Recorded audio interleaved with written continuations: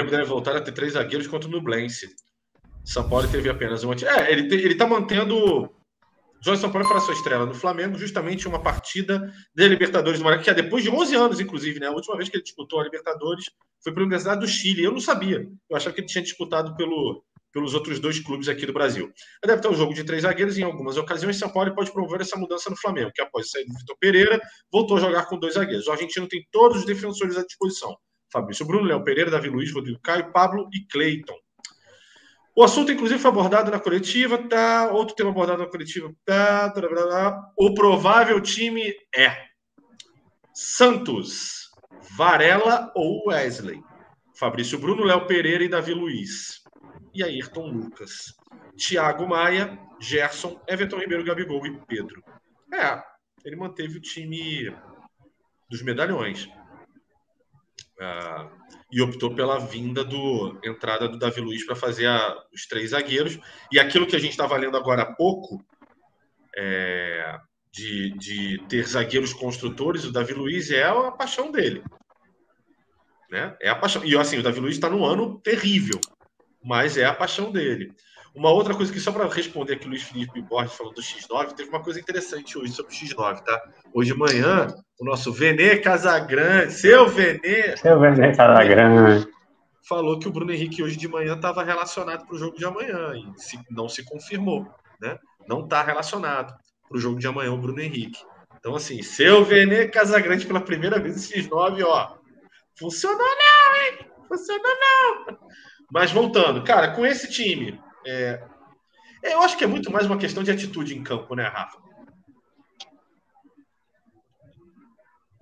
Sem eu dúvida. Acho, eu acho que assim, é, a gente precisa ver amanhã uma mudança de comportamento dentro do, de campo. É, um time competitivo, um time combativo, né, um time ligado em outra, em outra voltagem, né, que é uma coisa que o Flamengo não estava tendo. É, cara, o, o, jogo do Maringá, por exemplo, é um jogo que eu, eu desisti. Dez minutos do segundo tempo eu desisti. Eu falei assim, não, isso. Eu não reconheço isso que, tá, que eu tô vendo, né? E aí eu desisti, fui fazer alguma coisa, porque senão eu ia quebrar a casa toda. Então, enfim. Voltando aqui à questão da escalação, alguma surpresa para você? Eu, eu acho que eu, eu só. Eu, eu tenho quase certeza que assim. Eu, eu manteria o Wesley e não colocaria o Varela. É, daí eu acho que a única mudança que eu faria nesse momento, tá? E para segundo tempo, eu já digo para você, eu já adiantaria para você a minha a minha brincadeira seria provavelmente provavelmente entrar com o Igor Jesus para dar volume de jogo de novo, tá? É, o Cebolinha que foi sacado, né, para ter três zagueiros, né? É, e aí a gente vai precisar analisar a partida do Everton Ribeiro e do Gabigol para também tomar outras atitudes, né? Não só do Everton Cebolinha, né? E também ver a partida do Thiago Maia e do, e do Gerson, já botei o, o Igor Jesus aqui. E aí a gente tem Matheus França para entrar, Matheus Gonçalves para entrar. Você tem. Cara, Marinho, acho que é muito cedo para a gente falar de Marinho, porque o trabalho está iniciando. Né? Você tem Everton Cebolinha para entrar. Uh, você tem Vidal para entrar. E acho que é isso, né? De jogadores aí que podem, né? Um Vitor Hugo talvez também possa ajudar. Uh... Entrou bem no último jogo, hein?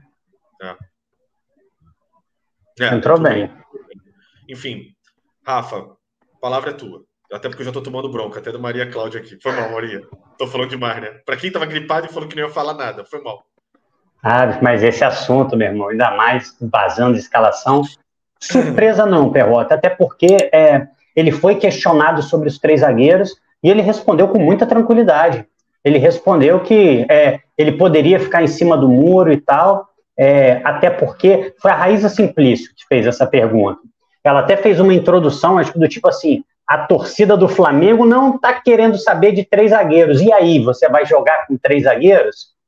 E ele, como um técnico é, convicto, né, da sua, da sua maneira de pensar o futebol, respondeu que, que, que, é um esquema que ele pode utilizar, que ele não vê problema nenhum, até porque historicamente ele já jogou dessa forma. É, eu não vou mentir, me causa uma certa decepção ver o retorno do Davi Luiz.